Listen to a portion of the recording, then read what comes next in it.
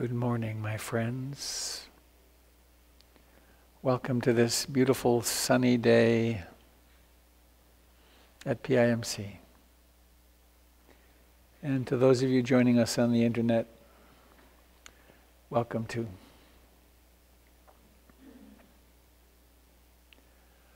What a pleasure it is to sit here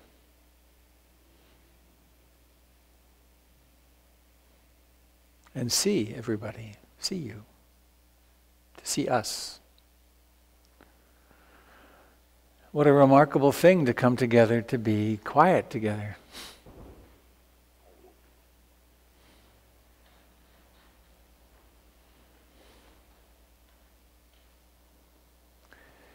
In the later years of her teaching career, my some of you would know wouldn't know my recently deceased Dharma mother Ruth Denison picture. when people asked her what she did, she said, "I'm a teacher of happiness." Different from I'm a Buddhist teacher or I'm a this or that. She said, I'm a teacher of happiness. So the the purpose of our practice is to become happy. And not just happy in the way of happy moods, though those are really nice, but happy in the way of contentment and being able to be balanced in the midst of the, the vicissitudes. Nice word, don't you think? the vicissitudes of life pleasure, pain, gain, loss, uh, success, failure, health, sickness. These natural waves that are, that are, that are human life. Uh, and to have some equanimity or some ease, some willingness or some capacity to be graceful in the midst of things falling apart and coming back together.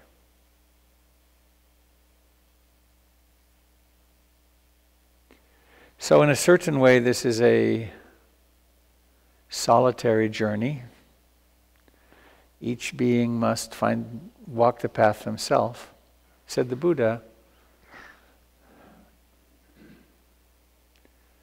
Quite a remarkable distinction, actually, for the Buddha's teachings. He didn't claim to be anything other than a human being, an awakened human being, but and he realized that he couldn't do anything for anybody other than show them the path. Right? He wasn't known for shaktipat, you know, for touching someone and having them go into special states or he, he wasn't he really wasn't known for miracles. What he was known for was the miracle of teaching people how to encounter their own minds, which are the source of all of our suffering.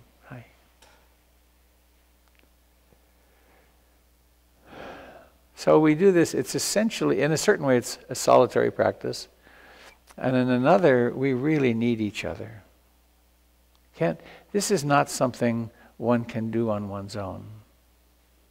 So that's why we have community. That's one of the major purposes of PIMC, to provide a place for people to come together as they make this remarkable shift to a way of life based in mindfulness, compassion, and love to have friendship and colleagues and a place to practice.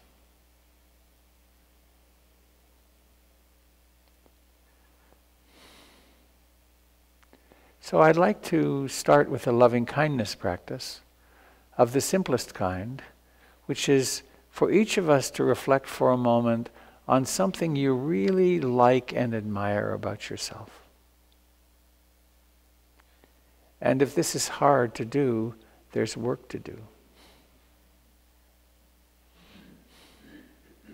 And if that's too hard, I invite you to think of some kind action. And of course, you've done tens of thousands of those in your lifetime. Some moment of simple kindness to yourself or another.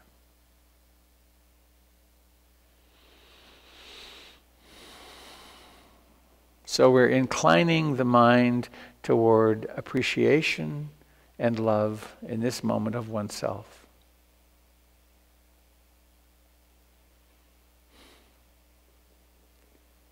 And I guess if even that doesn't show up, think about all the suffering you've survived in your life.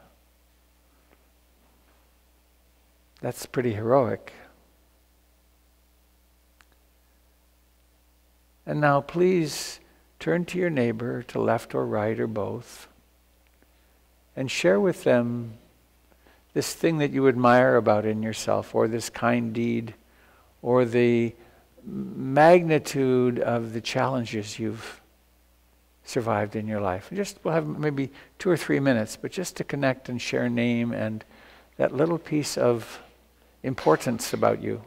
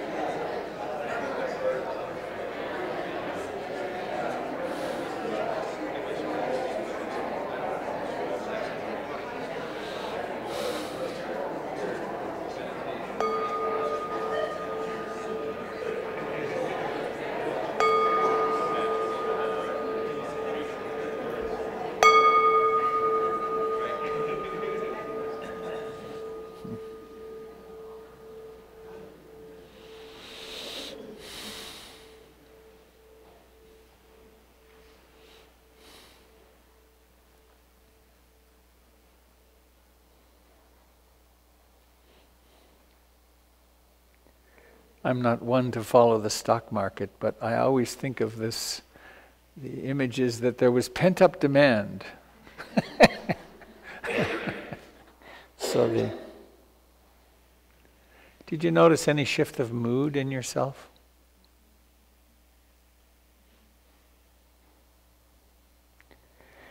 There seems to be some survival value in looking out for the negative focusing on the problem kind of makes sense in a way.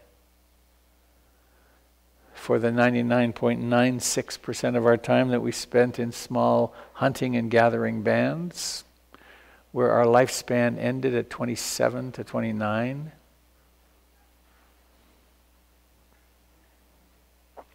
where we were just barely surviving.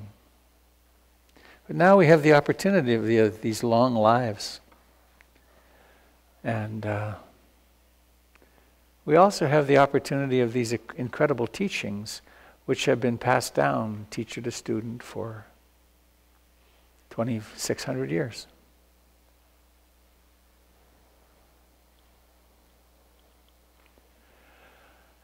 So please let us do the quintessential practice which is essentially to sit and do nothing. There are training regimens. I'll share mindfulness of breathing with you. How many of you are here for the first time today? A few, okay. A smattering. Welcome. I hope this turns out to have been important and useful for you. So please let's sit comfortably upright.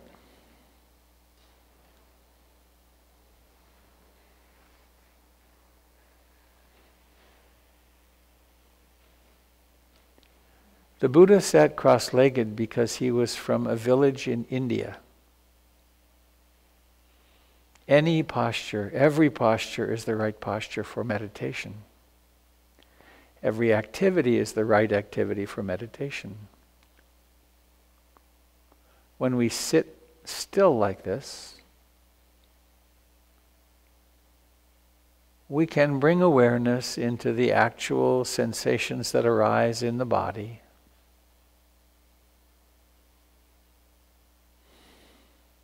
notably contact of the buttocks with the chair, of the hands wherever they are.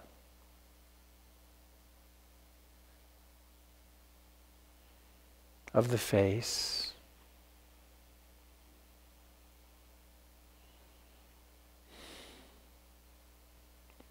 And please allow awareness to actually meet the sensations Experientially, there is no face. There are only sensations.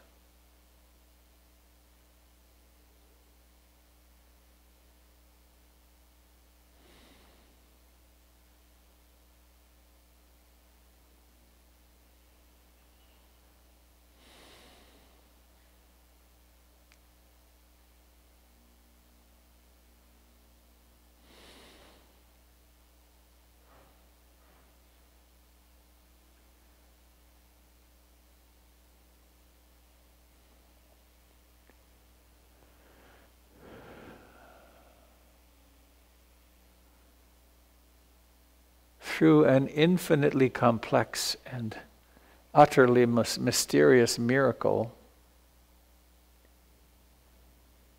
each of us has been born. We are the earth peopling herself.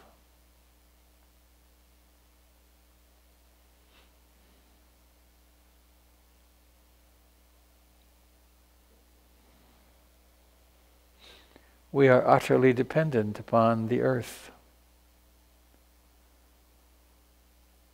for air, for water, for our food.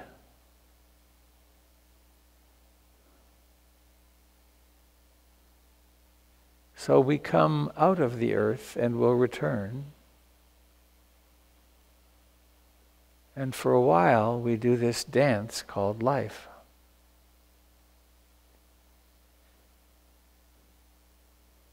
And in addition to matter, something equally mysterious called consciousness arises.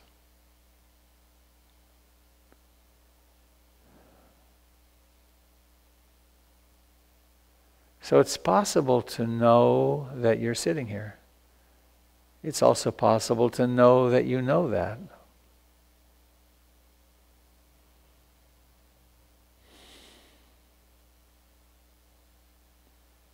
As the chest and abdomen rise and fall with breathing.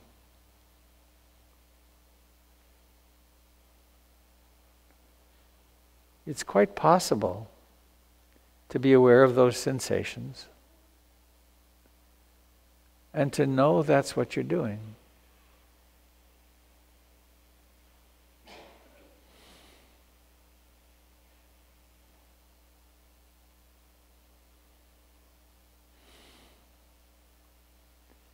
In a certain way, mindfulness is the most simple phenomenon.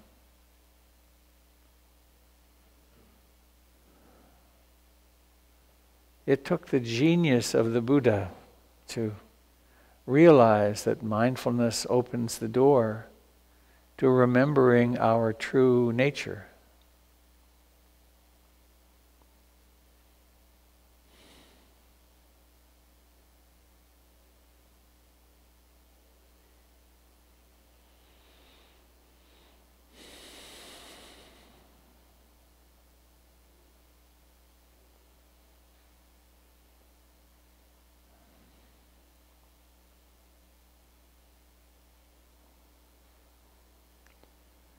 As natural as breathing is the fact of the wandering mind, the mind that creates the past and future,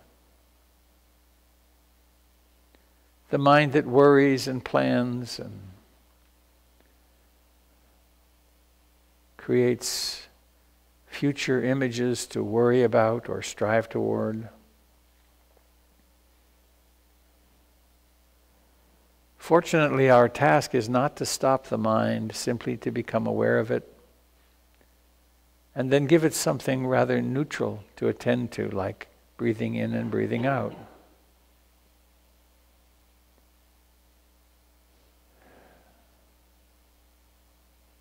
The breathing, this breath, happens only in the present moment. A past breath is a memory, not breath, not sensations. So please let us become aware when the mind is wandering.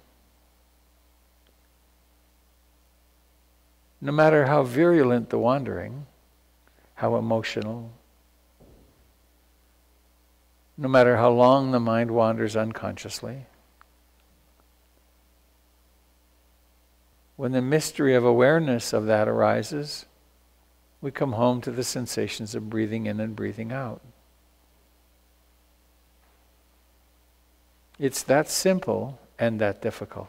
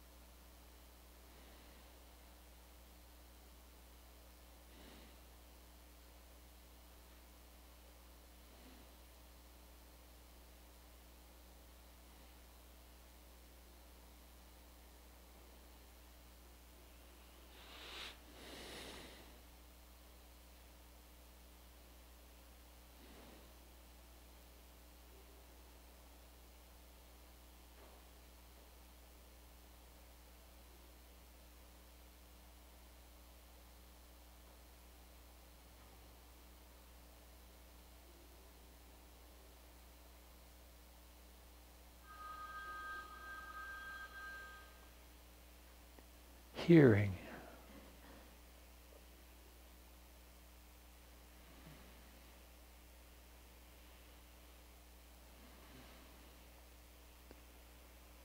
This is the practice of no interruptions, of no disruption.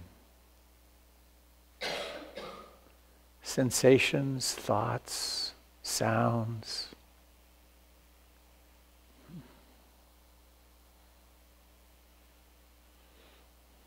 Everything has this remarkable characteristic of coming into being, existing for a few moments, and then disappearing.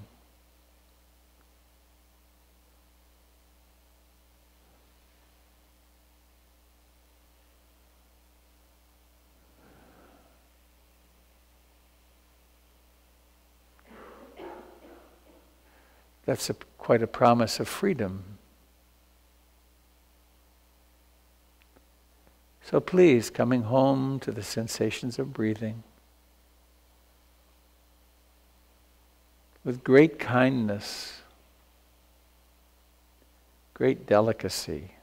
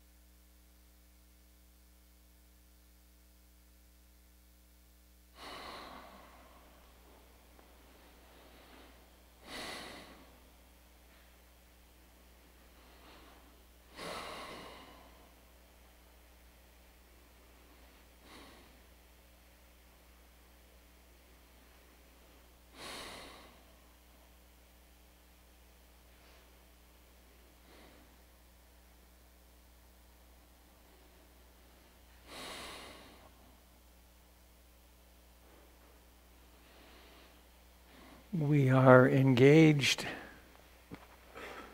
in a training of the mind.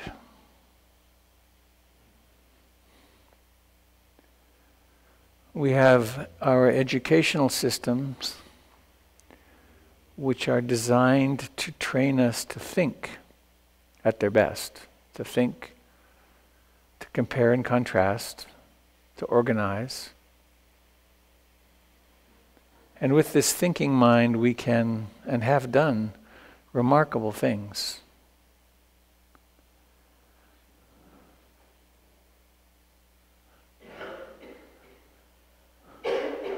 But our beingness, our greater capacity, doesn't require thinking. Being aware of the life in your hands, for instance, doesn't require commentary. Being aware of the sensations of breathing doesn't require any commentary.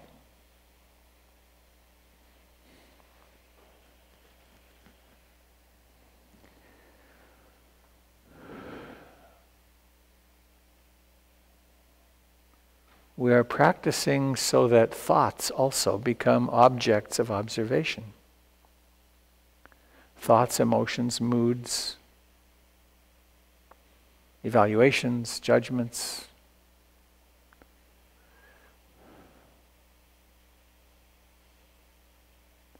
So we are witnessing the mind in action.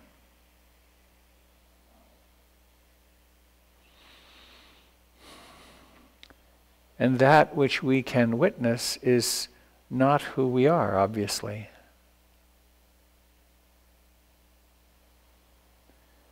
So, ever so patiently over time, we discover that we can exert some influence on our lives. Not control, but influence through being awake enough to notice what's happening. We can plant wholesome karmic seeds in our life stream.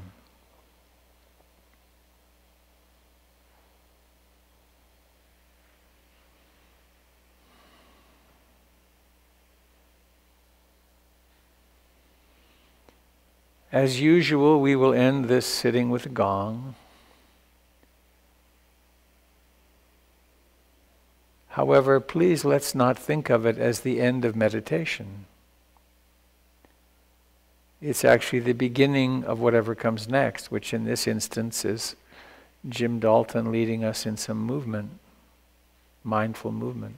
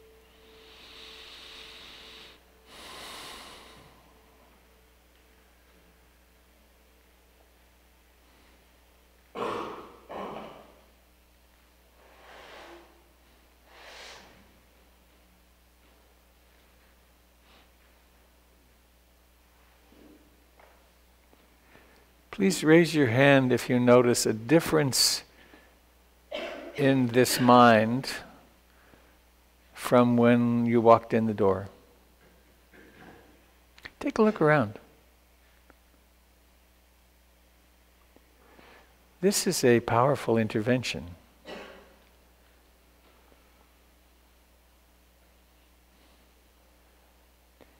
According to the Buddha, a moment of mindfulness is perhaps the most significant karmic action that we can do. Generosity is wonderful, and there's lots of other very positive things, but to be mindful is the cornerstone in a way. So, Jim, you ready to roll, to stand?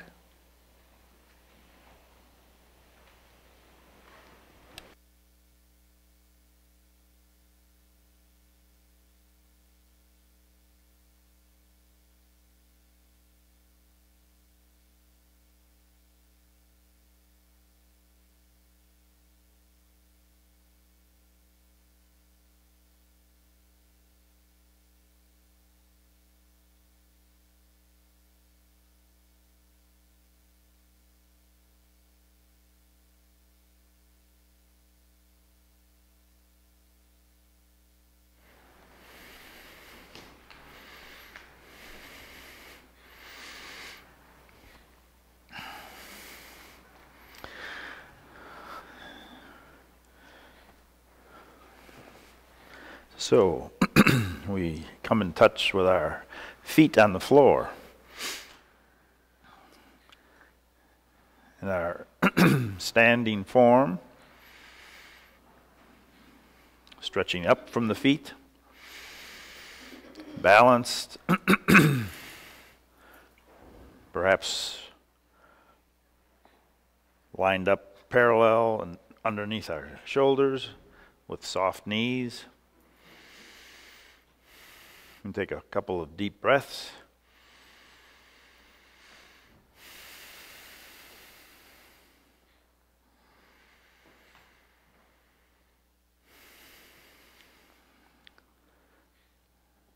And in the back of our mind, we'll be doing lots of different uh, imitative movements, but in the back of our mind, can we keep a gentle acceptance of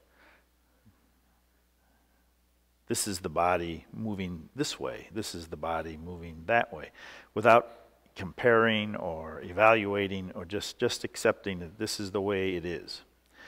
So, the way it is right now is fairly balanced, fairly relaxed. If we take our center of gravity forward a little bit, we can feel that the toes have to work. If we move back, we can feel that there's a little alarm system that says don't go too far back. And then we can move to one side, move to another. There's lots of signals that tell us where the body is in space. And part of mindfulness is accuracy and precision and noticing this sensation, th- that sensation. But underneath that, is there an acceptance of the whole process? Think of all the neurons that have to cooperate as we sink into our knees. And then rising up with the arms in front of us and then releasing them. How many neurons have to cooperate? Can we accept that this is this is the capacity of this body right now, organizing this form, gentle movement gentle acceptance.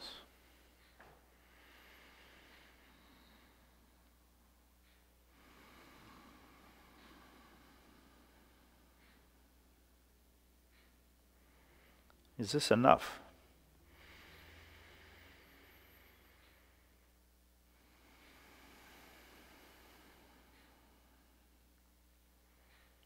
What if we open to the side?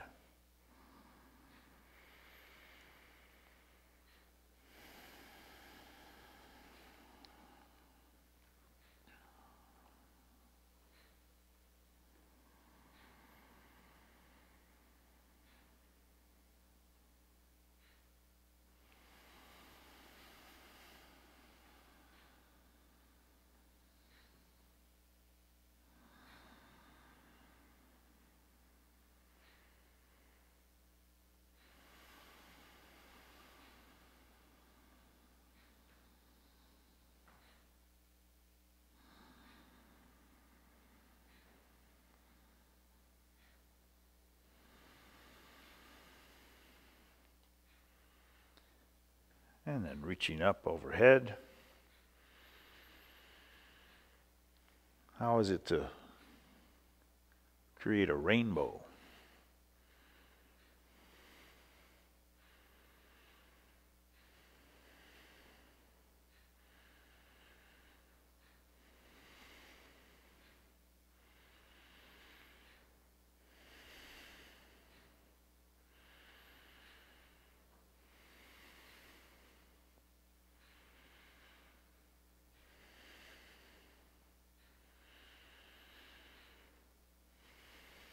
Now releasing the arms, sinking across the wrists and come up. And we'll separate clouds.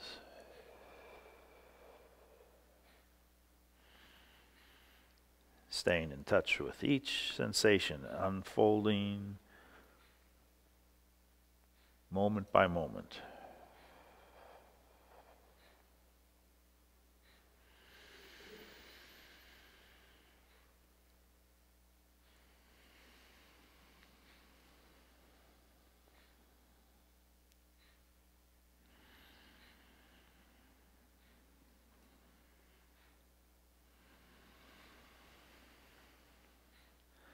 Engaging the hips, turning, lifting, pulling, pushing.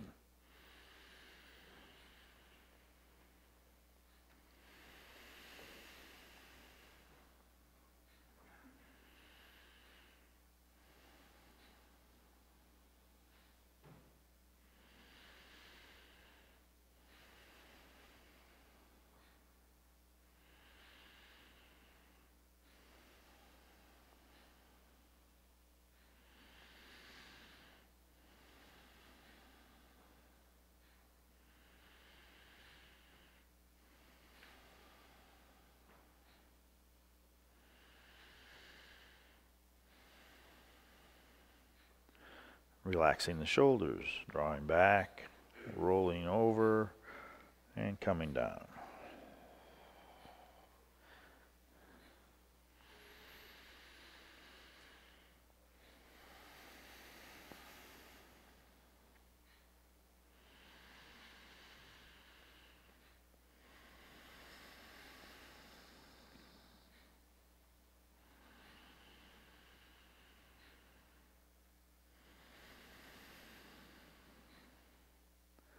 Lifting across. The weight shifts into one leg. We release. There's a gradual change. All the weight's over here now.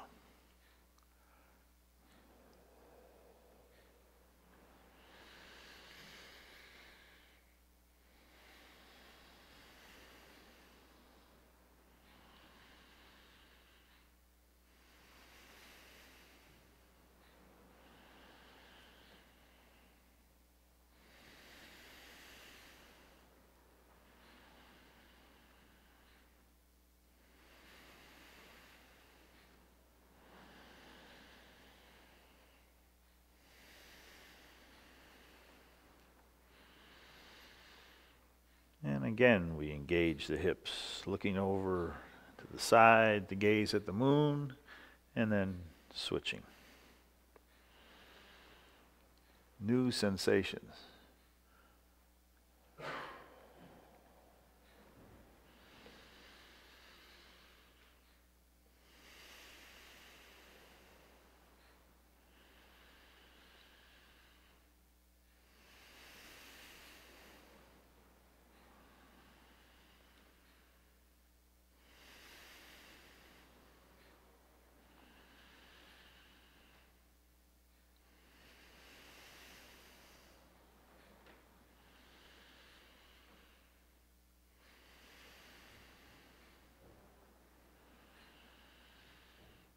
Press across. Again, the weight shifts,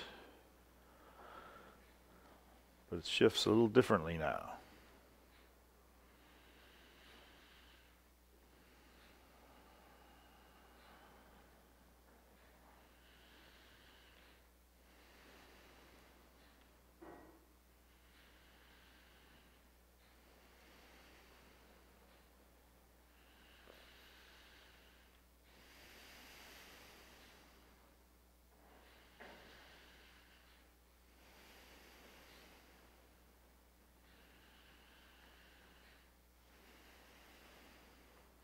And lifting one arm across, we'll focus on the palm. The other palm towards the earth. We'll draw across like a cloud moving across the sky. Switch hands. Notice the shadow following underneath.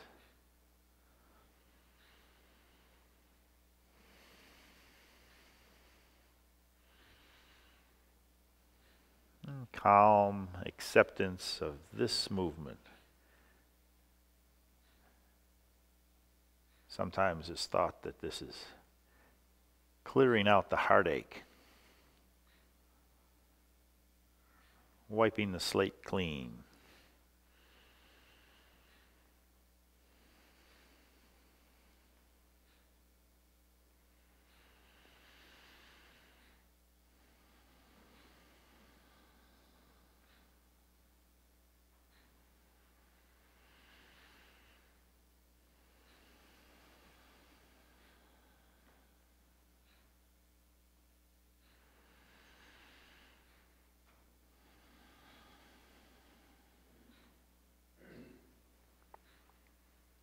And we open the stance a bit and splash in the sea, larger movements, engaging more the nervous system. We're activating all sorts of new sights, new sounds, new feelings.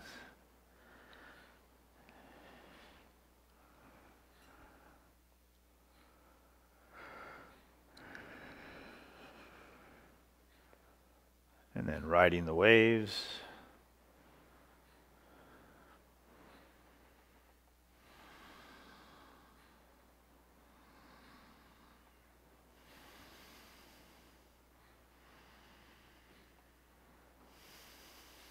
Opening the arms, gathering energy, drawing it in.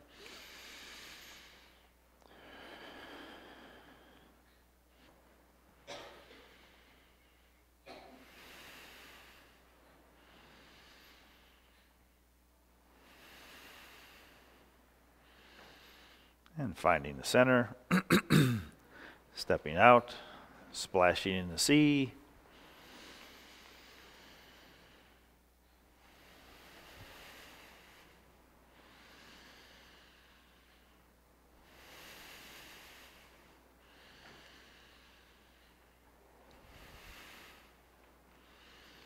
And riding the waves.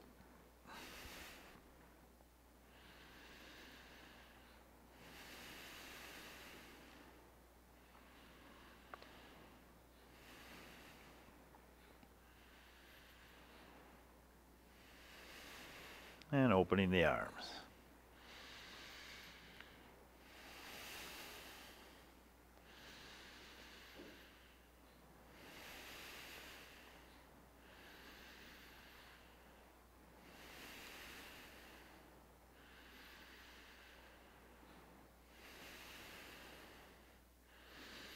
And finding our center again. feet underneath the shoulders, sinking into the knees, making a fist. Let the dragon rise from the sea.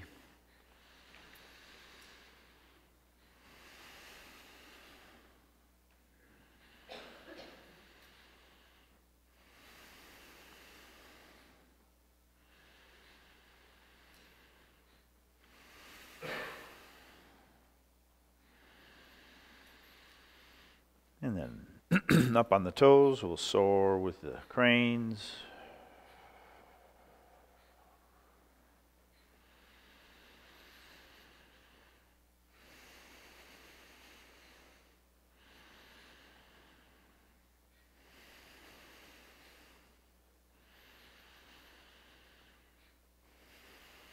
Turn the wheel.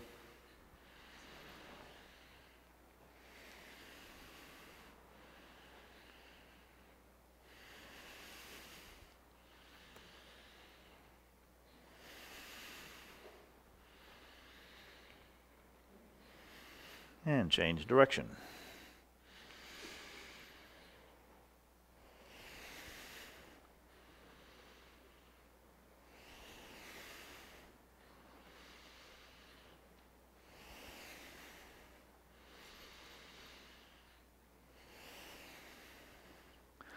Coming to the center, lifting one arm and one leg.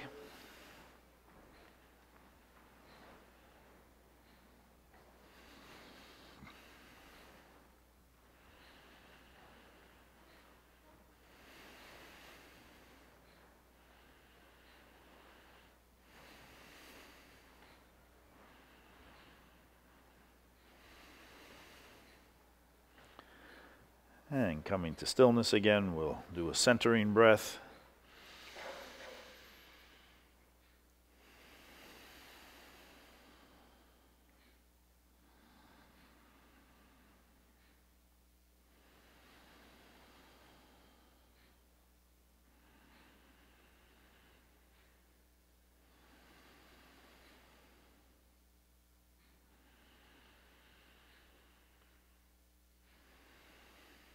And just let the arms relax down, hanging from the shoulders, sinking into the knees. Feeling the effects of all this movement. Doing a scan through the body. What are the predominant sensations now?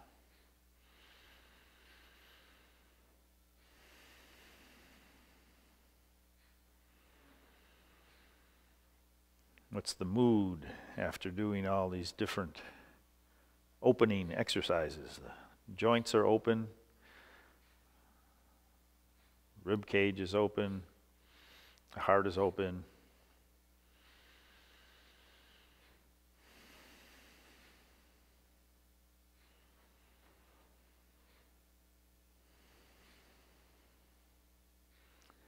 So there's a river of sensations that flows through a standing form.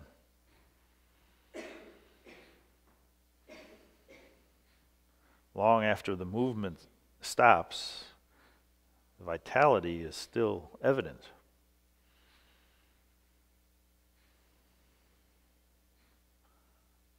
Where is it in sharpest focus for you right now?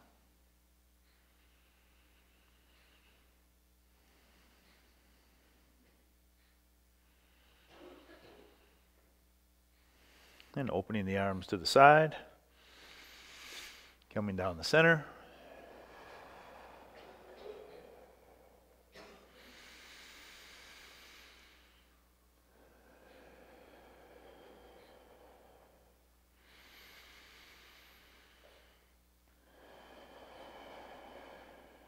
Thank you very much for your attention.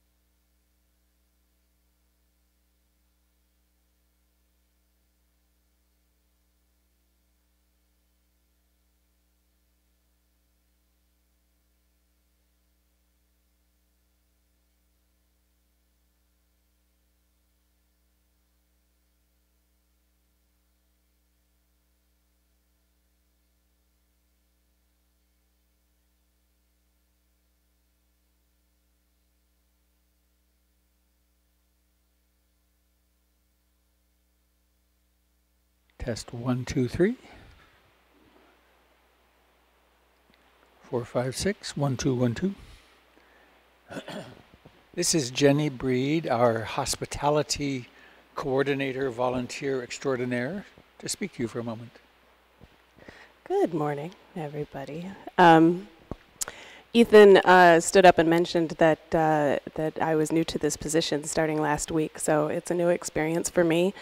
Um, and I'm, I'm really happy to be moving into this position. And um, he had asked me to speak, and I got a little startled. And I thought, no, no, no, I'll do that next week. So hi, I'm saying hi. And um, but I just, I guess I wanted to um, just sort of publicly express why I feel gratitude for moving into this position.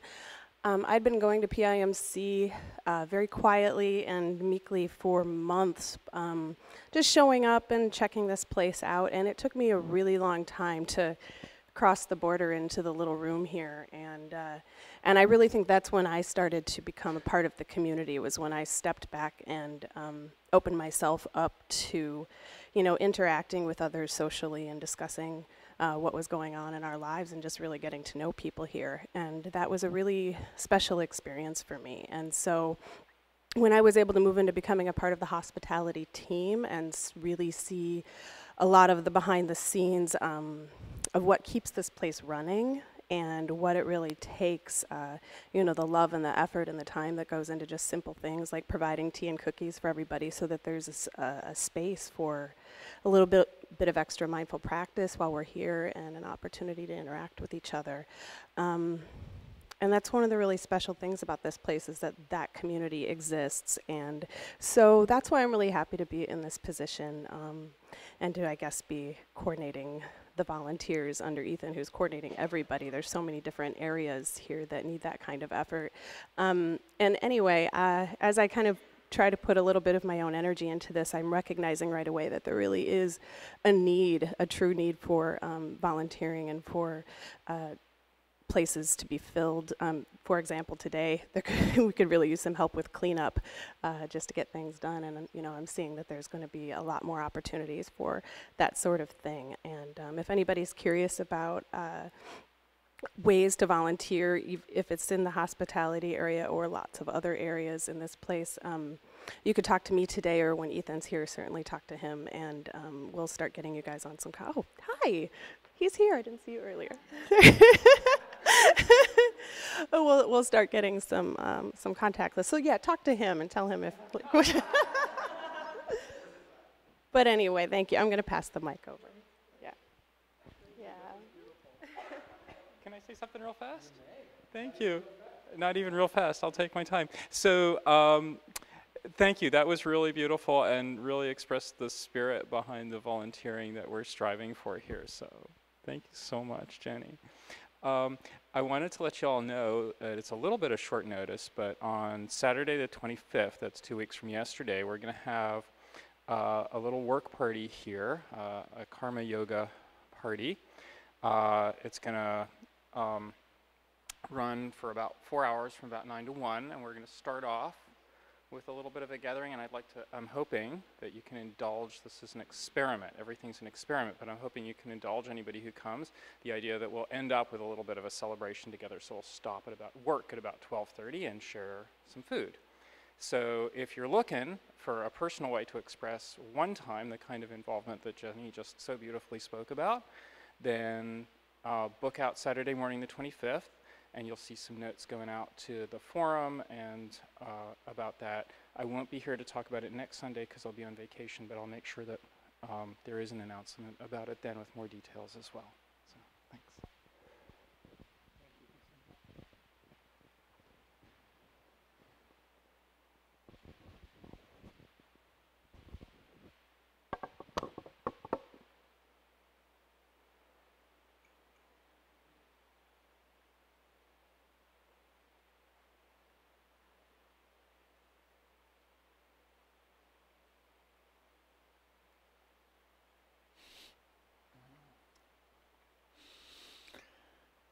The karma yoga parties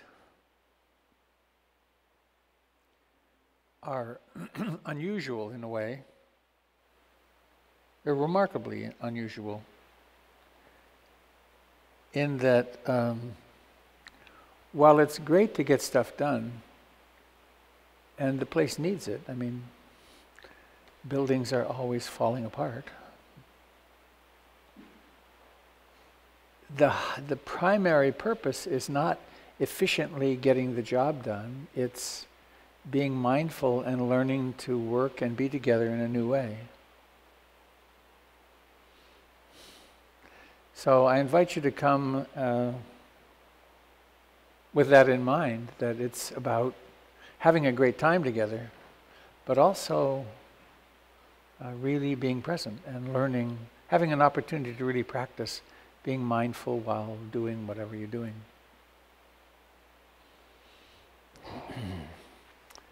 I have uh, the announcement responsibility today.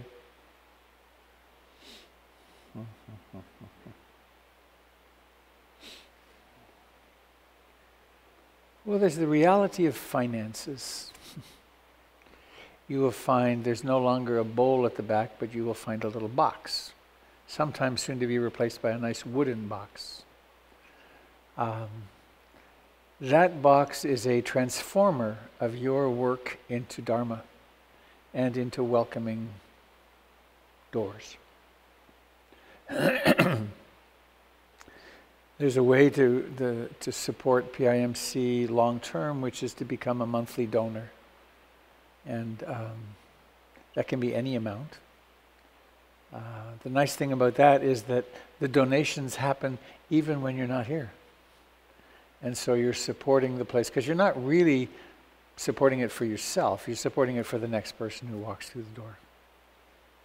That's called the stewardship circle.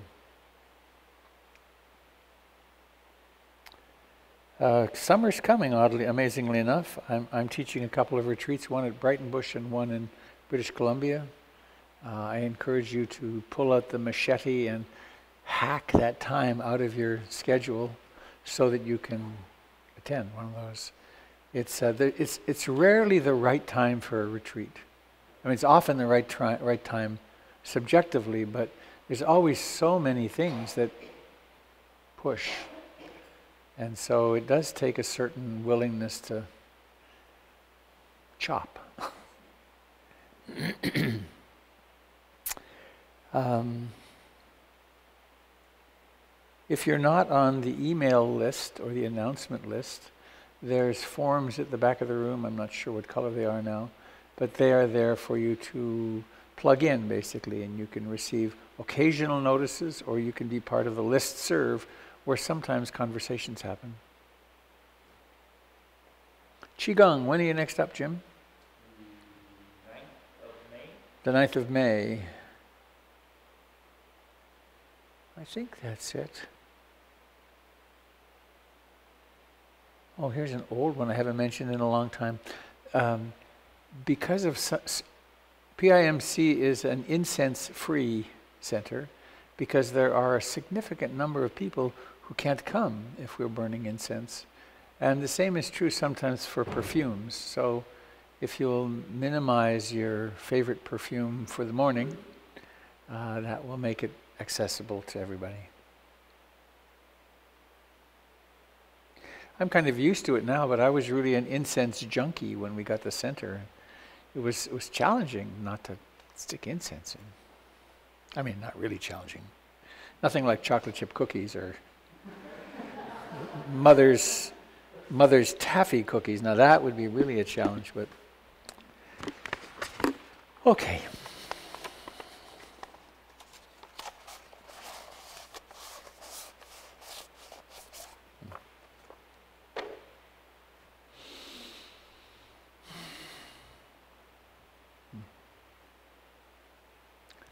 How nice of you all to come.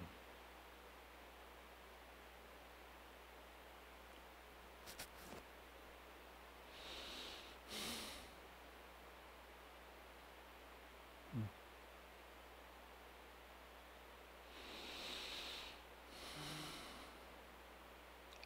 I continue to be deeply affected by, by Ruth Denison passing away.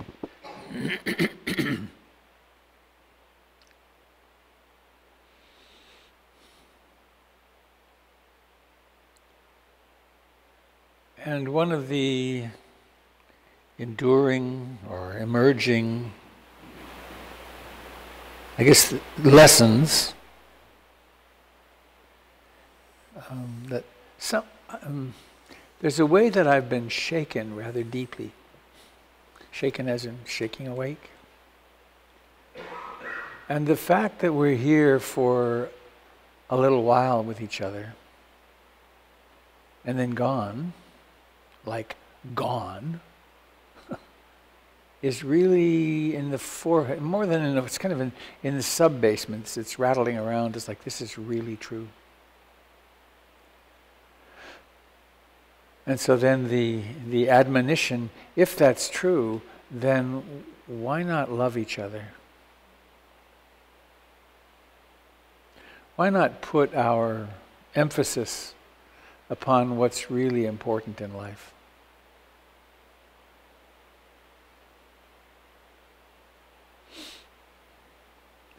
And it's very interesting to watch this mind and its, its predilection of going into various trances. Um, there's the work trance.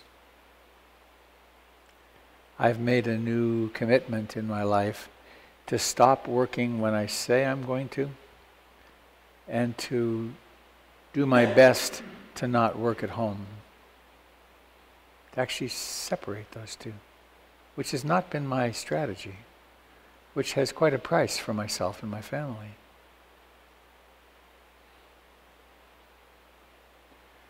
Because the to do list goes on and on. You know, it's, it's endless.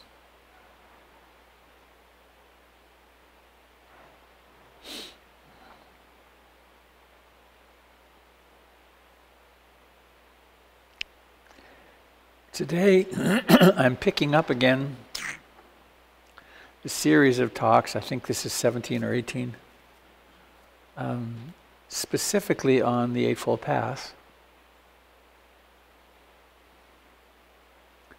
And uh, there was, a, I think, Kate and someone, was it you did the talk on the seven enlightenment factors? So this will be redundant for some of you, but. Um, no doubt we'll cover some different terrain. Oh. I have, I have new props. Great. Come on, you guys. Here we go.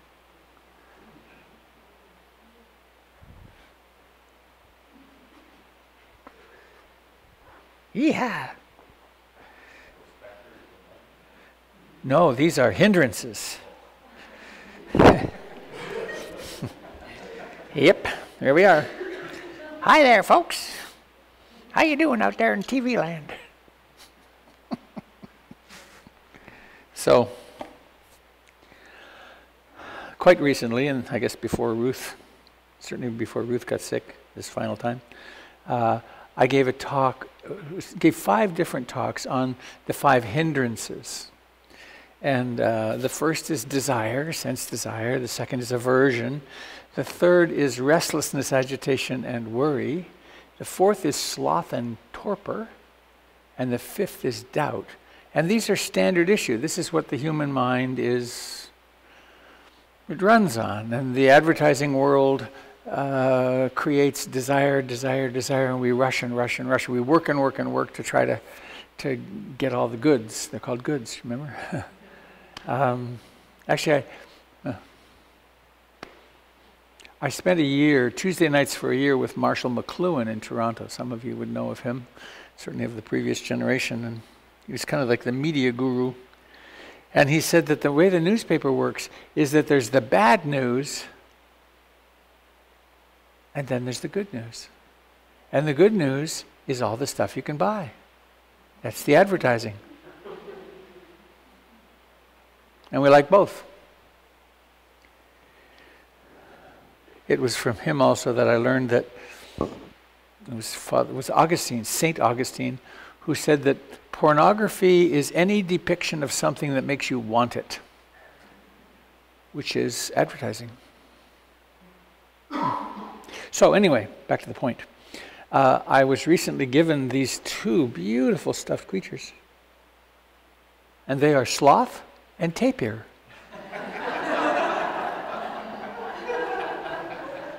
and they, um, oh, tape, have to get tapir up to be seen. They're, they, um, they are the factors of mind which are sleepy and difficult to get moving. It's the, shall I go to the gym today? No, I don't think so. shall I go to my meditation cushion? Nah. And now here I am on my medication, med- my medication cushion. Shall I make effort? Nah. So I think they're beautifully depicted, and they go wherever I teach now. So thank the nice people for coming. Thank you for coming. Where can I put you? It seems wrong to put you on the floor. There you go. there. Oop, a little suggestive. Yikes. what? Another another hindrance. There is that, yes. we are animals, after all. So,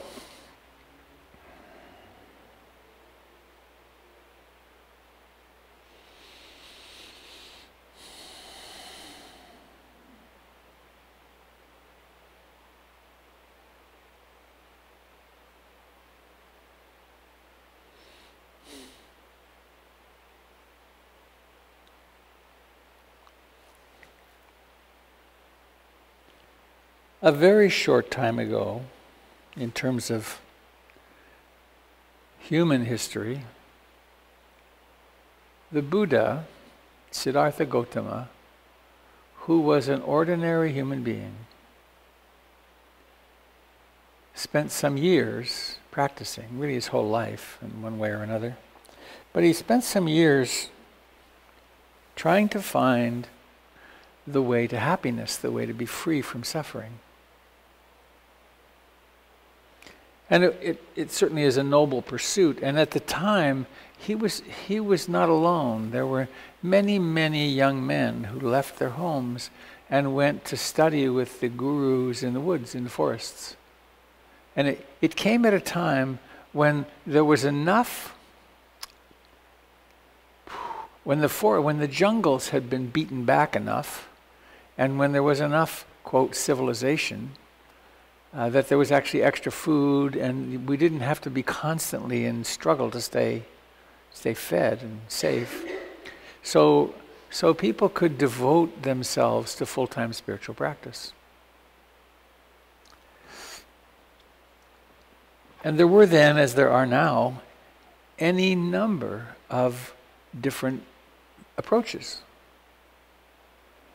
Um, I'm actually two thirds of the way through listening to a book on tape, a book on digital ta- uh, on Scientology. And I'm finding that really a remarkable read.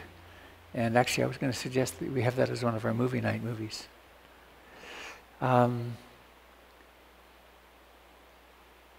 uh, that's that's a, a, model very similar to the Secret, the, the, book The Secret. That what we what we think of, what that we can create reality with our thoughts. And that existed at the time of the Buddha. That view, all the views that we're working with now, were there at the time of the Buddha. He, there are stories of his encounter with this teacher and that teacher, and and uh, students of this teacher and that teacher. But he came up with a model, the Eightfold Path, and a way of practice that ordinary human beings like us could actually practice. And he discovered that freedom arises when we when we have a worldview that fits the world, that actually fits the reality, which means it's not in discord with science when we take our worldview and put it into action through our intentions, when we become attentive to how we speak, act with our bodies, and how we make a living, and we, we turn those toward kindness and reciprocity and honesty and, and caring, and then if we make effort, one of the factors I'll be talking about today is effort. The effort to restrain unwholesome mental states once they're gone, to keep them gone, and the effort to bring wholesome states into being and then to keep them going. And then the seventh factor, mindfulness, this miraculous capacity we have to be aware. And then concentration, which is the mind's ability to focus.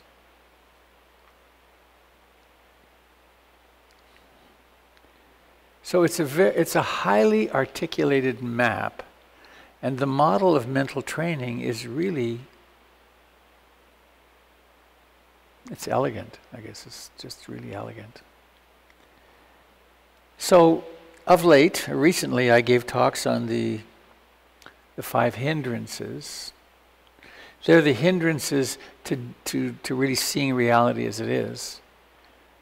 Because when we're lost in hatred, we're lost in hatred. When we're lost, when we're falling in sloth and torpor, we're falling asleep, we're falling asleep. When, when we're caught up in doubts, like, is this going to work? Does this not work? Can I do it? We can't, we can't see very clearly. We're, we're lost. These are trances in a way.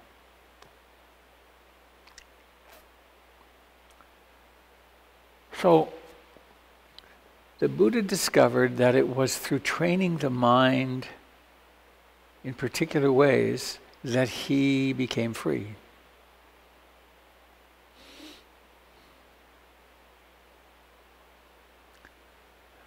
So,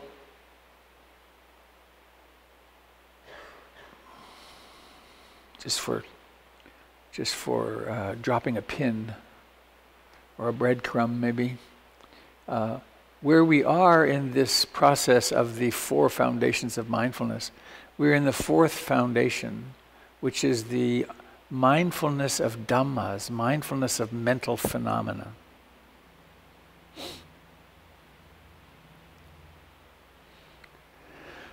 So, as we proceed, we become really conscious, more and more attentive to our, our hindrances. And um, much of the Buddhist literature is that, that when, when the, the Buddha is quoted as saying, if you defeat the, the five hindrances, it's more important than defeating a thousand enemies a thousand times in battle. And there's a kind of military uh, analogy. The Buddha was trained to be a warrior. He was from the warrior caste. And had he stayed and been the king, he would have led his armies. So there's, there's that, a lot of that kind of analogy. There's also gardening analogies. That it's about planting wholesome mental states and uprooting unwholesome states. And um, I have found it really important to learn to love our hindrances. To love meaning that there's room for them. Because anything there's not room for, how can I, if, if were always, I don't like that, I hate that, how can, how can I possibly recognize, oh, this is how it's shaped, this is how it comes into being, this is how it passes away. So it's, it's a very, in, in a certain way, it's also um, allowing there to be space. So, as we become familiar with the five hindrances, woo, a little too much power. Um, we then might wonder well, what's next? And it's not really linear like this, but it's, it's, this is the next one in the description. So there's these, these mental factors that the Buddha discovered lead to freedom, lead to happiness. And they are, not surprisingly, I'm going to put them in the air here. There's mindfulness, and then there's curiosity or study or paying great attention to mental phenomena. Curiosity, I like a lot. Uh, effort, energy, virya, it is. Joy, contentment, happiness. Tranquility, concentration, and equanimity. The first three are kind of excitatory or energizing. The other three are calming. And the idea is that when these are all in balance, the hindrances are suppressed. They're not uprooted yet, but they are suppressed. And there can be moments of deep, deep understanding, deep intuition.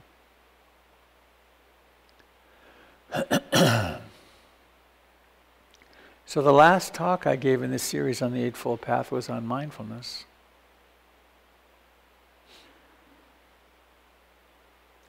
I have a little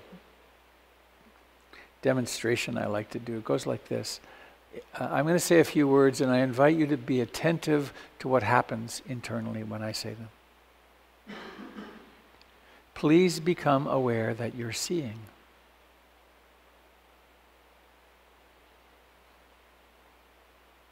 Is that not strange?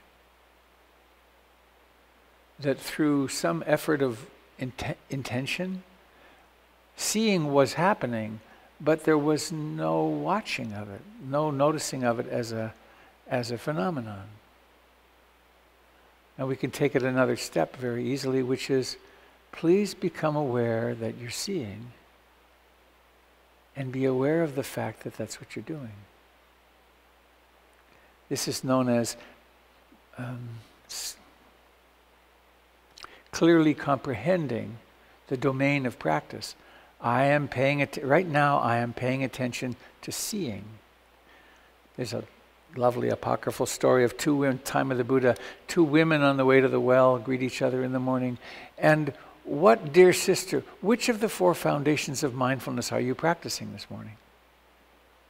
Are you paying attention to the body, to feelings, to mental phenomena, or to mental formations, thoughts, and so on, or phenomena? So there's this strange capacity we have, which we take for granted. Right? Um, as smart as my dog is, I don't think he has any mindfulness. He's just, he's conscious. Cows are conscious, snails are conscious. But we have something extra.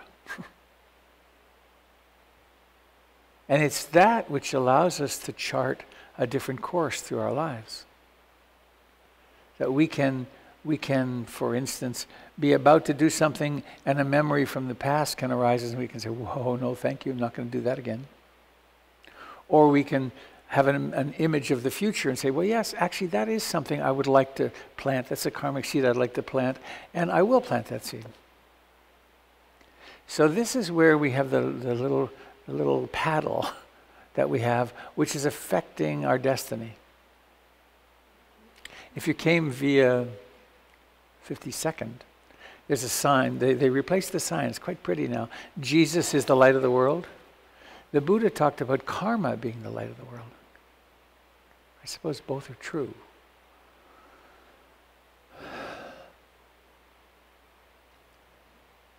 So, mindfulness, heart mindfulness, sati, awareness,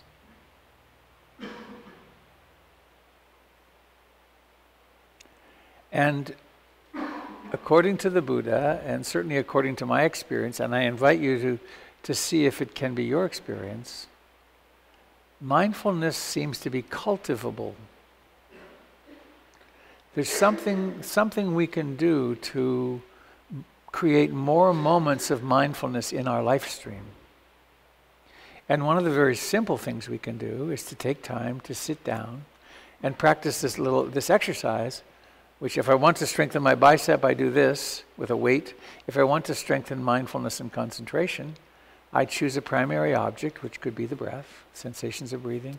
The mind wanders off and it's gone for half a second or 10 seconds or two weeks. and then mindfulness comes on, and there's a noticing, wow, this is wandering mind.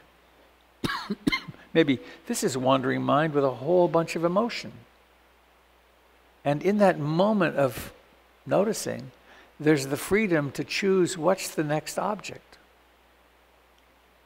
So, so one could choose, well, I'll come to the breath, which is so neutral, so in the present moment. Or I could come to the window that I'm washing. This is why the karma yoga days are so good. Here's the window I'm watching, and I'm moving to the right, to the left. Oh, it's wax on, wax off, right? It's be in the present moment.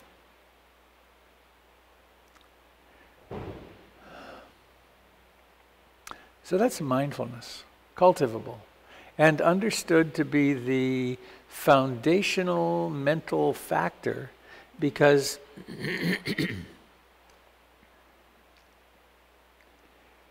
because it's like the sun that shines equally on everything. Right? The sun doesn't discriminate, just and when when mindfulness starts being cultivated, uh, saying from Ruth, darling, you can no longer get away with yourself.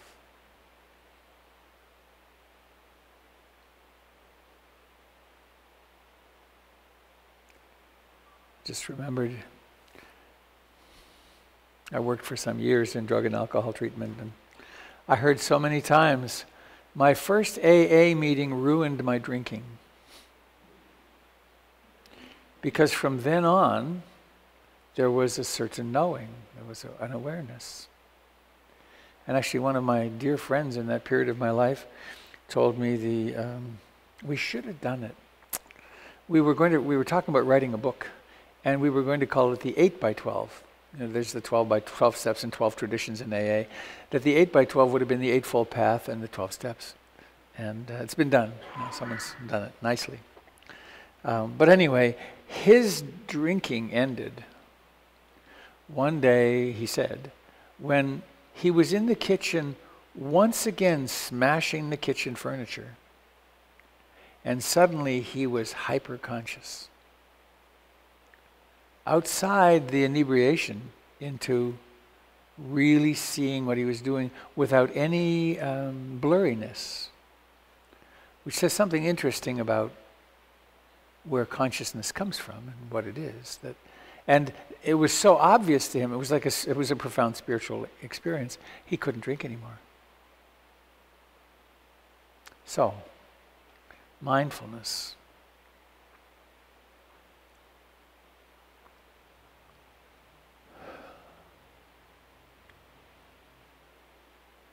investigation, curiosity.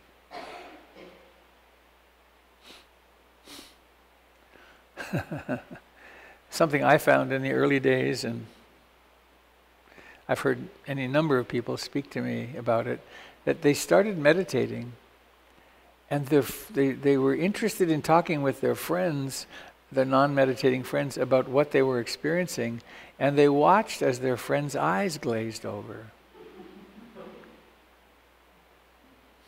You know, I went into Fred Meyer and I was looking at the apples and I was noticing desire, greed arising in myself. And then and I noticed that everything wrapped in red was very attractive to me. What, who cares, right? Well, well, if one is watching the arising of greed and the arising of hatred uh, and noticing the tension that arises from them, then meditators do.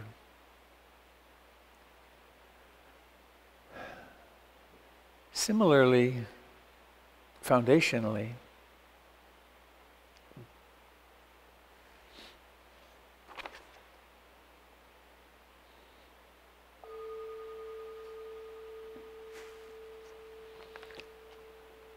what does that have in common with my life?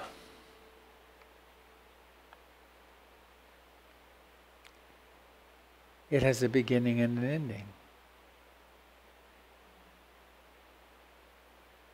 What does that have in common with the cosmos, with all the stars?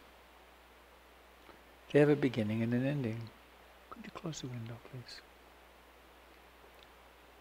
What does that have in common with every relationship, every possession, every achievement?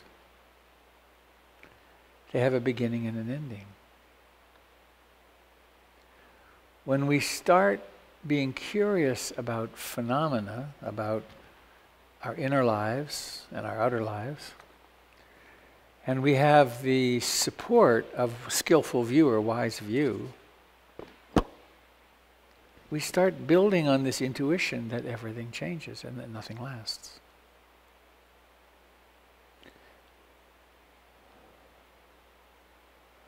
I remember early in my practice when this first was dawning on me it kind of, uh, well, it was, it was so fascinating. I'd never realized that driving in the car, what's happening is there's this, there's this rush of visual phenomena and they're, they're disappearing all the time. Or moods are coming and going, coming and going. So curiosity is really an essential mental factor because because this is not a path of blind belief. It's not. It's a path of faith, but it's the, it's this kind of faith. What happens if I'm in a gravitational field and I drop this? Well, it keeps doing the same thing. It's always done this in all my demonstrations. So I, I have great faith in gravity. Now, I, I, it could be different if I was up in space. But while I'm here, I have great faith in it. What develops over time is great faith in the Dharma, in impermanence, unsatisfactoriness, and the emptiness of the self. Curiosity again, in these three characteristics of existence. There's the anatta, not self teaching, which again isn't a dogma, which isn't a creed that I, am a, I'm becoming a Buddhist, so therefore I believe there's no self. There's a self. But how long is it going to be here? Right? It's forming and changing all the time. So, with mindfulness and curiosity, we start deconstructing ourselves. We start noticing that oh, I, th- I think I'm this, and then this goes away, and I'm still here. Hmm, interesting. And uh, so curiosity is essential in the past. Third, energy or effort.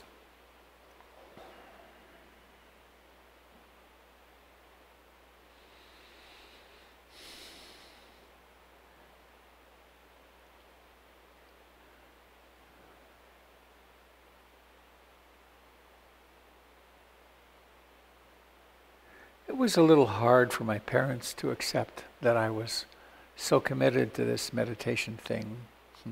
My mother came once to a class a long time ago, probably 30 years more. It would be 33 years ago. Uh, she came to my Sunday morning class, and uh, she, when we were finished, she said, Well, that, that was very nice, thank you. She said to my sister a few days later, you know, it was really weird, all those people sitting there in silence. But,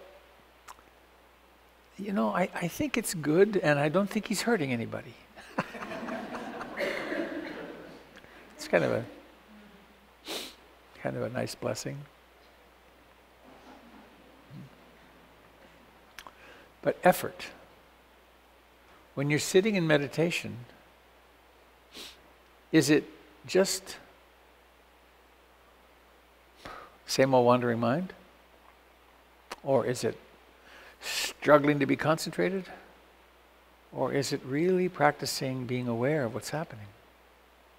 And then, and this is a brilliant, the brilliance of the Buddha, there are certain mental states that lead to suffering. Mine, greed. If I can just have that, I'll be happy. Mine, mine, mine, mine, mine um, uh, I don't want it, disliking the five hindrances greed, hatred, and ignorance, ignoring the fact that everything comes and goes.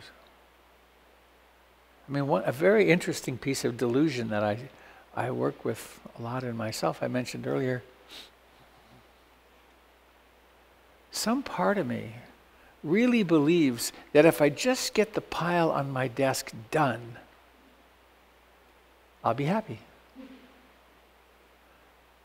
I've gotten it done. I, I once took a week off to get to get caught up, and it really it was good. I felt good about that, but you know it didn't do it.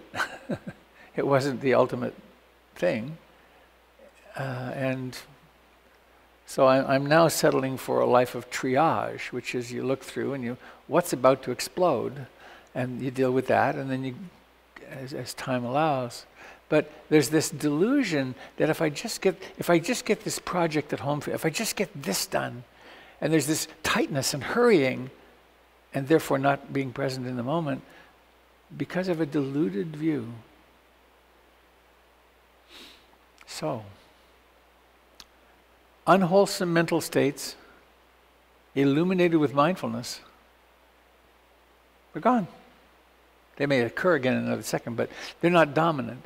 They're up, and then, oh, come to the breath, or come to whatever, come to planting the plant in the ground. Mental, un- unwholesome state, come back. Maybe you're, maybe you're cherishing some um,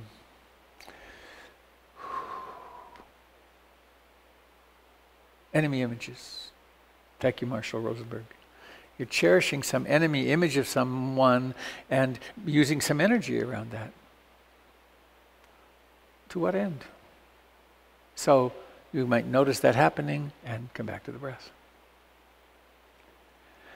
Once those, quote, unwholesome states are gone, we can practice what the Buddha called watching the sense doors, guarding the sense doors.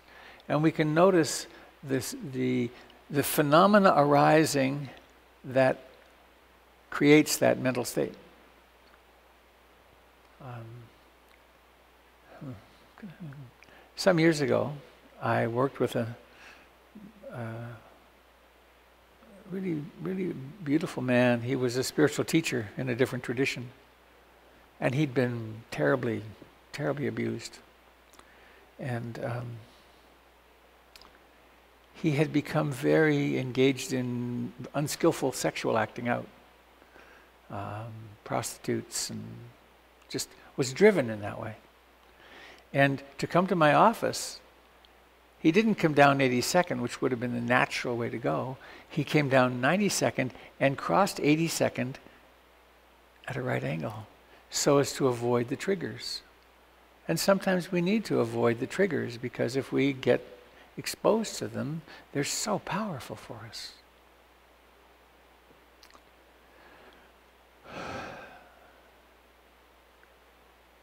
So, restraining the unwholesome once it's restrained, to keep it restrained. Cultivating, planting, bringing into being whoops, ah, wholesome mental states.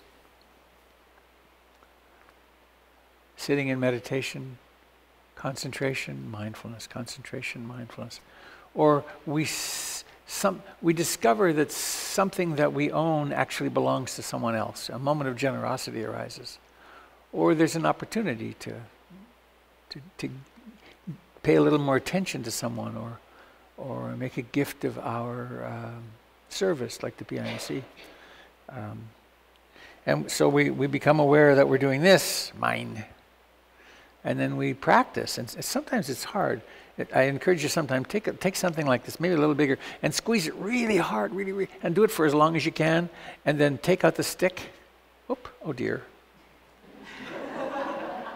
its turban came off. Dang, oh well. Um, and then try to open your hand, and it opens with fits and starts. It's like, ah, it's a bit hard, jumpy. Well, that's the way our greed is, because we think we're going to be secure if we just hold on to everything, and we're not, of course. So, practicing generosity and giving is, it's like this. And then sometimes we realize our hand flies open. And the more it flies open, the happier we are. So, we're cultivating wholesome mental states, the seven enlightenment factors, for instance, um, the loving, loving kindness, compassion, sympathetic joy, equanimity, to cultivate these so they become more common, more fluid in our life stream. I, I, um, I remember the first moment that I consciously heard a voice inside this head say something uh, very appreciative. Uh, the context doesn't matter. It was a little building project. But as I got, I got it finished just in time, and the first drops of rain were coming, and I was climbing down the ladder, and I heard this voice say, Good job, Bobby. What? Because I'd been so accustomed to, well, you dropped a few nails, you didn't do it quite right, that self hating voice. And I'd been working for some time at planting appreciative thoughts in this consciousness. And there it was, it came up all by itself. Quite remarkable. So, cultivating wholesome states and keeping them, once they're going, to keep them going.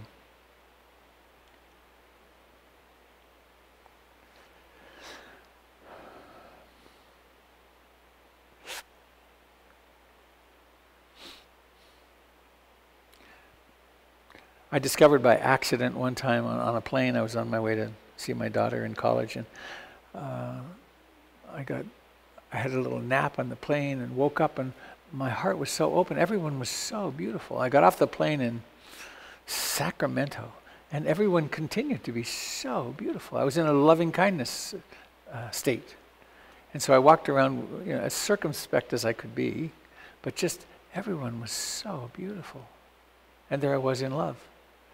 And I had, I had brought with me a Time magazine. I was going to sit in Sacramento and indulge in time. And I realized, wait, why not? This is a state that I would like to keep going. And uh, actually, I don't know what it is about airports, but uh, mostly I guess I'm traveling to retreats and from, but I often fall into that state now. It's so great to walk around an airport. People are, you know, often pretty tight, but uh, it's just delicious. So that's keeping them going. So we have mindfulness, we have curiosity, and then we have effort, energy, making the effort to do the work, making the effort to get to our cushion, making the effort to come on Sunday. I'm so grateful to you and, and appreciative and admiring to do this on your Sunday morning. Pretty impressive. Right at the pinnacle, happiness and contentment. I have a quote. Do I have time for the quote? Let me see if I can find it.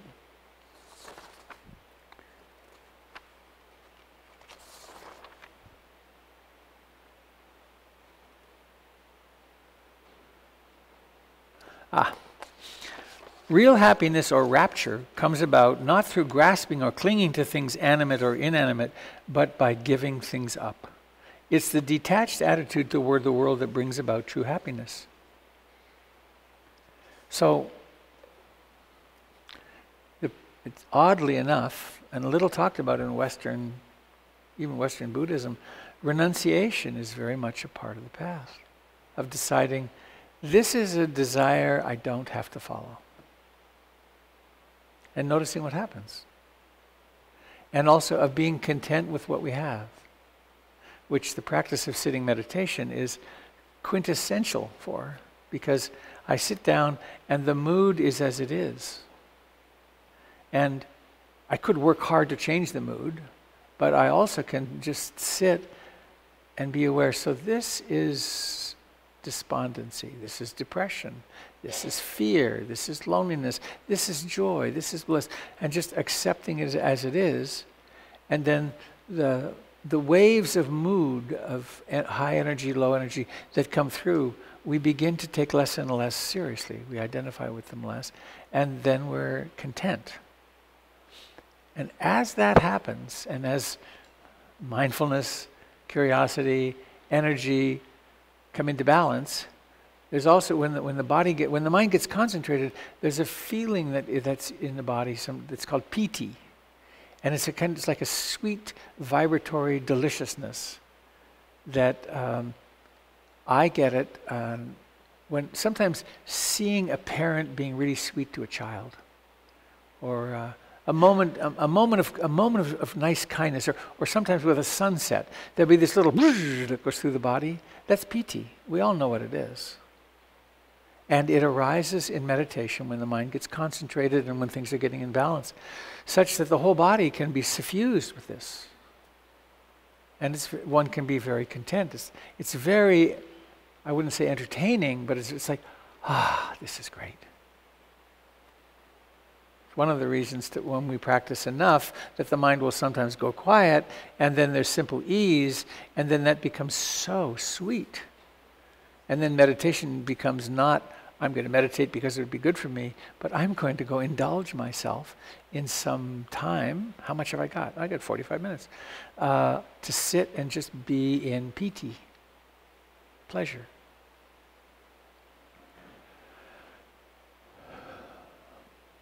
a little disappointed by the clock.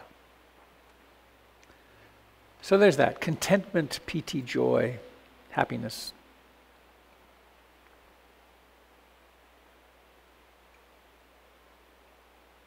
Equi- uh, um, tranquility.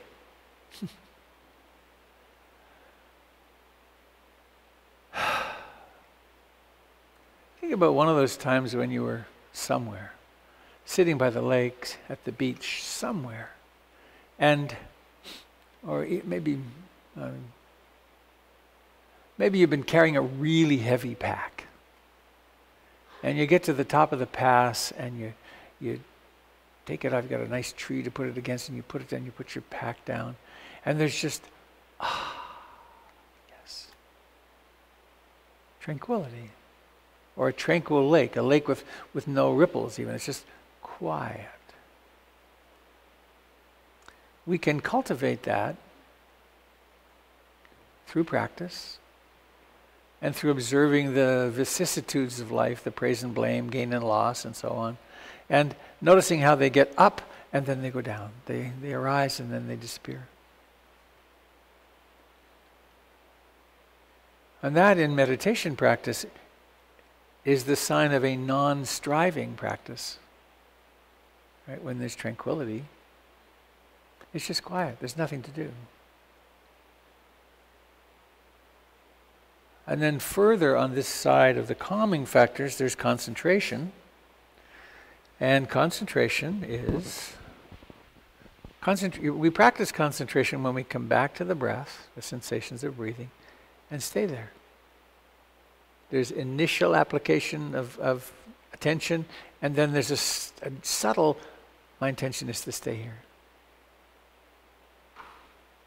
Gone. But we're exercising something. And the foundation of concentration, actually, very interestingly, I think, um, th- the true foundation of concentration is living a moral and ethical life. Of living within the guidance of the precepts, living so we're not harming ourselves or anybody else, or we're minimizing that, because because the precepts are the law. They're not the law that someone created. It's kind of like the law of gravity.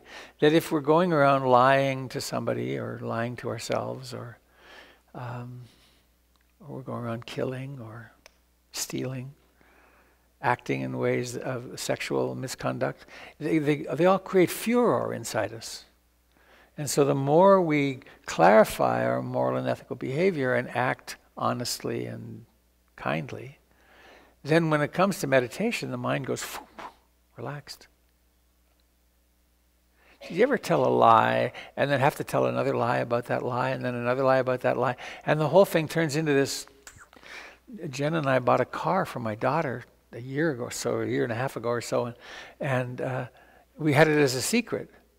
The lying that had to take place, it, it got so thick to keep this stupid car. At one point, I was thinking, just tell her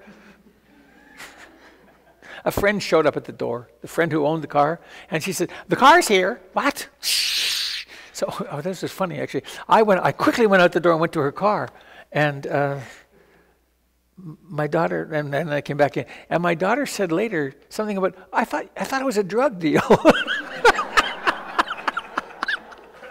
Shades of times past. so, Concentration arises from having a heart that's relaxed. And when you've when you've told someone something and it's really true, you don't need to try to remember what you said because it's just the same thing you'll come it's close to the same thing you'll come up to the next time given the nature of the mind. So that's concentration the mind's ability to concentrate. And when it's, I like to think of concentration this way it's like a butterfly landing on a flower. It's not, it's, ah, yes. One of my monk friends described concentration once as it's not a particularly intelligent state, it's a state of great ease, like climbing into a hammock.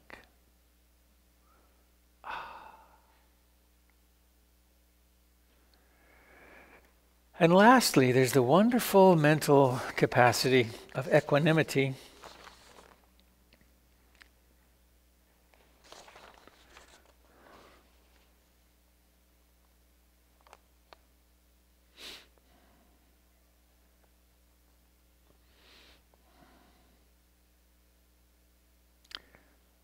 Kind of colorful language in these some of these things. The seventh and last factor of enlightenment is the upekkha, equanimity.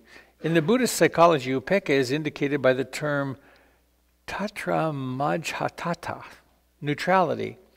It's mental equipoise and not hedonic indifference. Equanimity is the result of a calm, concentrative mind. It is hard indeed to be undisturbed when touched by the vicissitudes of life. But blah, blah, blah goes on. So, Equanimity.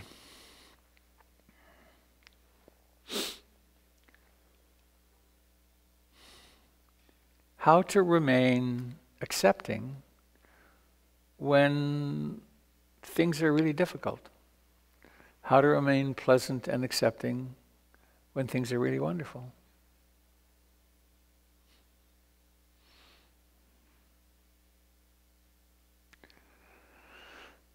I had an equanimity practice always comes about comes to mind when I think of this was back in the Ronald Reagan years, and uh, I, I, became an American to vote in that election and then lost. but there was Ronald. And I had an eight eight by ten picture of him, and also Caspar Weinberger, who was Secretary of Defense. He wanted to use the nukes. If he'd had his way, we would have had a nuclear war. Over on this wall of my little meditation spot were all my loved ones and Ruth Denison and so I would sit for a long time, and then I'd turn to this wall, and I'd get really, it's like, oh wow, so I'm so lucky to have these friends and family.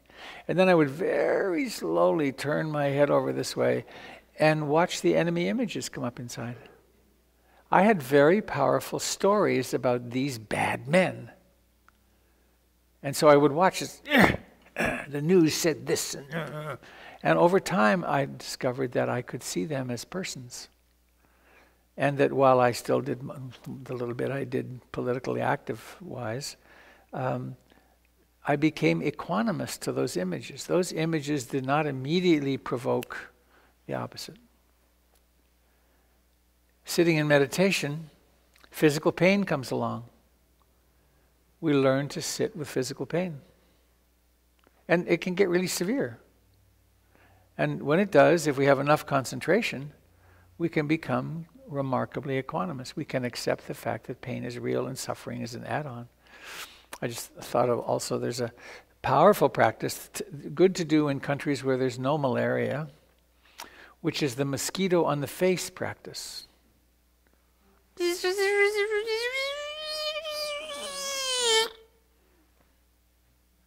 My God. or just stay completely calm and notice those sensations. Then they can be pretty strong. And what's happening? A mommy mosquito is wanting a little drop of blood in order to go make her babies. So it can become quite an act of generosity. I will stay here. I'll let her have her little drop of blood. And it's, it's quite possible, not even really that difficult, on retreat to get so that just doesn't bother you. It's like not a big deal. Because the mind is has enough equanimity to accept this. And you notice it's very quick. She's in and out, done. I mean, actually, I meant the no malaria thing quite seriously because uh, Getting malaria is no fun. I haven't had it, blessedly, but so it's a good practice to do here or under your mosquito net in Asian practice. So, the seven enlightenment factors, the seven factors that conduce toward our ease and happiness, they suppress, at first, they suppress the hindrances. And they also then create a mind which is clear enough that will notice the hindrances arising and see them as impermanent, unsatisfactory, and not self. So we develop insight into them, and that's the path in which we gradually are then uprooting the very roots of these hindrances. Like the five hindrances, I think it's worth I think it's worth knowing the names of the five hindrances so that when the mind is out, when, you know, when you're freaked out, uh, you can know, you can ask yourself, so what is this? Is this greed? Is this hatred? Is this sloth and torpor? Is this? And the same is true with the seven enlightenment factors, because you can go through the checklist. So, what's happening here? Oh, this side of tranquility and concentration. This is really weak. Well, whatever shall I do? Well, I'll practice mindfulness. And I'll kind of emphasize equanimity and tranquility and um, that side and concentration so as to bring ourselves into balance. And then there are moments when these are in balance, and then there's a felt sense of that. It's like, oh, right. I get it. That's what they're talking about.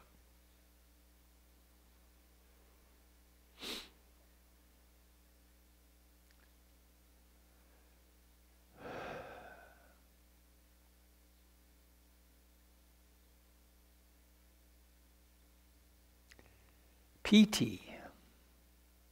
I just had a lovely rush of piti. How nice. Do we have wild creatures at the door? Are there mice? Well, thank you so much for your kind attention and thank you for being here, folks on internet land. And uh, I hope this is useful and that you can. Uh, may, may we all today have moments of beautiful balance of the seven enlightenment factors so we can be truly happy. Wouldn't that be nice? Let's just have that happen. So thank you so much. Hmm. Well, I always this is always like the the gate in the in the rodeo. It's like out they come. Oh, actually not. It's very calm.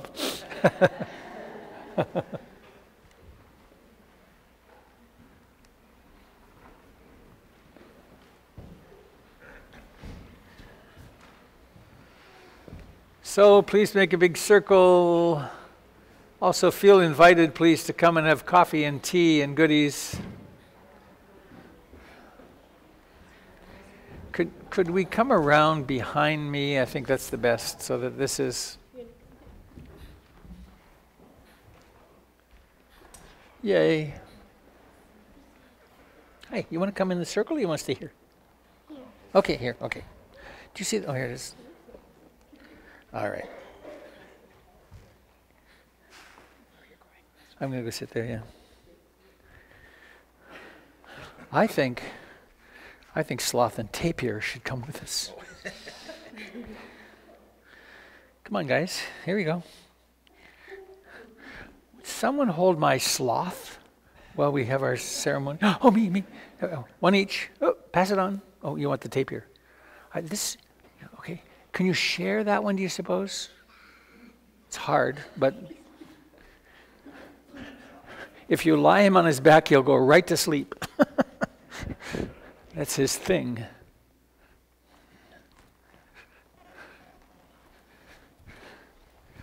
Hi.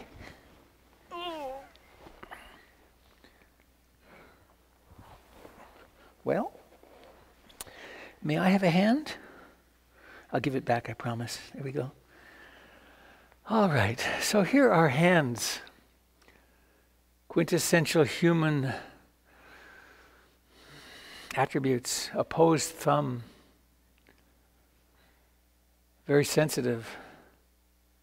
Feel the hand in your right hand and give it a little squeeze and a blessing. What would you wish? May you be really happy. May you be free of all kinds of suffering. But what would your wish be? Your prayer? And to the hand on your left, giving it a little squeeze. In a way, it's a personal wish, but this person on your left represents, of course, billions of hands. Every single one of us human wants the same thing. And so around our circles, the inner circle and the outer circle, including the hands of our friends who aren't here today, in fact, including including our brothers and sisters of the air, the earth, and the waters because we're all one process here. We're all springing into being and then disappearing.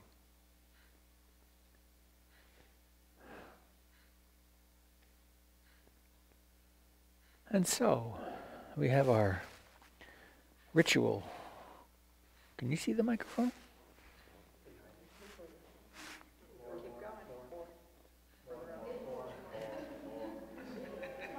That was hard.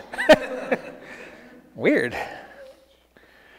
So, who are our singers today? Four of you. All right, can you, you want to scoot in over here? Here, here. If you want to be close to the microphone. All right. Now, now let's not have microphone hogging, okay? so whenever you're ready, may all beings be happy. There you go. May all Beings be happy. May all beings be happy. May all beings be happy. Sadhu. Sadhu. Sadhu.